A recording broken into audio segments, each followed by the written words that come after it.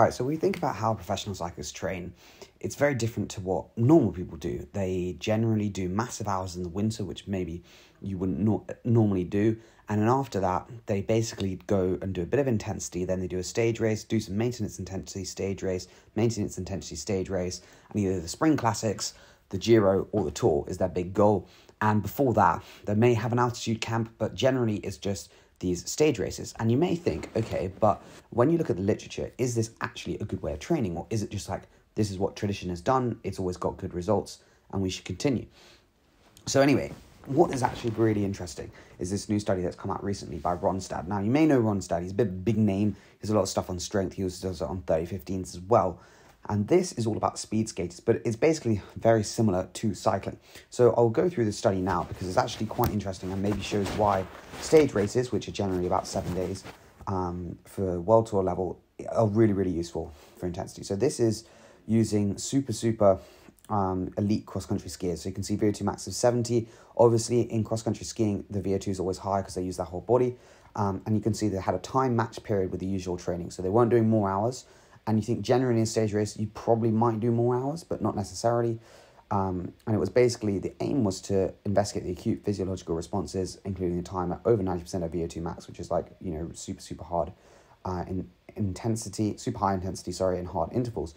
Um, so what they did is they had six days, um, sorry, before the six day high intensity block and following five days recovery after the high intensity block, they basically did their tests um, so what was the result? So the block group, which was the people who did six days in a row instead of doing intervals, um, they had an improvement in their maximal one minute velocity um, achieved during the VO2 max test. So you would guess, I'd say like that's like a ramp test in cycling. So they got to a high level on a ramp test.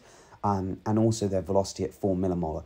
Now, 4, 4 millimolar um, per litre of blood lactate is what people often use as a proxy for threshold. So, you know, a way of showing threshold despite obviously that depending athlete to athlete it can be a good way uh, to do it simply. And again you can see there was an increase in that. So you know the threshold's gone up. Uh, in the submaximal exercise the block displayed a large reduction in respiratory exchange ratio um, lower lactate concentration heart rate and also it felt easier. Um, so i guess what is the conclusion? Well again well-trained cross-country skiers um, the block periodization so when they do six days in a row had superior changes in indicators of endurance performance compared with the um, with the control. So I guess the point is this is like, is this worth it? And I think your argument would be yes, because you know you get a really big physiological response to the high intensity that is given. Now I think that the most interesting thing and realistically the key um, key thing to think about this is just the risk versus reward ratio because you know, it's going to be more risky doing six days of intensity in a row. You know, block periodization is quite, um, quite known in that sense. Um, you also have to think, you know, you don't want to be overtrained, you don't want to, any of that stuff. So I think what that really means uh, in reality is that it is risk. But we can see here, which is what I wanted to find, which was the block versus um, sort of control. And what you can see here is that the, the total hours were um, were less for the control, but the I believe the trim score they were trying to get sort of similar-ish. Um, but what you'll see here is actually the trim score is less, which is like a, a version of TSS. But what you will see is that the time spent at high intensity is really, really big for the block periodization compared to the control group. The control group is what you'd expect 17 hours, low intensity, medium intensity, an hour.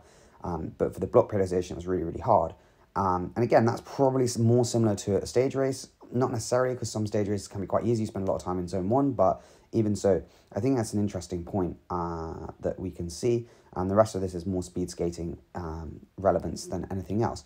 But I think goes to show that, in my opinion, what people maybe could do um, as amateurs, if you know you don't have access to stage races, create your own stage race. You know, let's say you've got a crit on Tuesday, you've got a crit on Wednesday, you've got a crit on Thursday, or you know you could ride before, try and do some intervals on the first one, so you race Wednesday, Thursday, Friday, maybe have, well, sorry, Tuesday, Wednesday, Thursday, maybe a Friday off, and then Saturday do a race, Sunday do a race. And that is very similar. Okay, it's not exactly the same, it's not six days straight, but again, it's that big boost um, of high intensity anaerobic efforts, which you're not going to get if you do traditional training. And maybe you know you could incorporate that into your training routine and see if that has a big blow. For me, I think block periodization I've really enjoyed sometimes, but I think I've also messed it up where I've done too much and not recovered sufficiently, which I think is obviously a big risk. But anyway, I hope you did enjoy this video.